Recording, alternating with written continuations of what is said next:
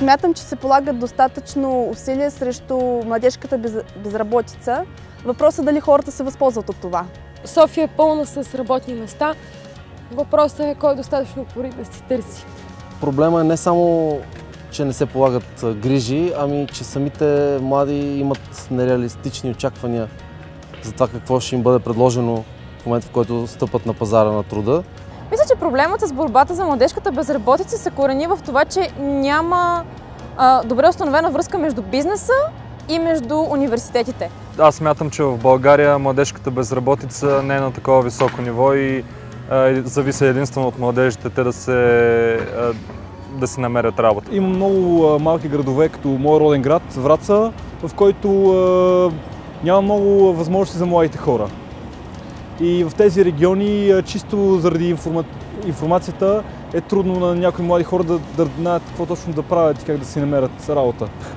Търсенето на кадри, поне в България, е голямо и всеки човек, който има качества, който ам, има амбиции, а, е лесно за него да си намери работа.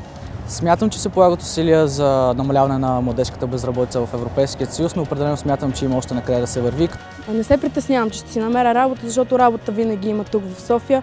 Въпросът е там, че тя минимален е шанса да бъде свързана с моята специалност. Бъдещата си професионална реализация я виждам в Бургас, там където съм завършила, по специалността ми руска филология. Смятам, че тук има огромен проблем с безработицата като цяло.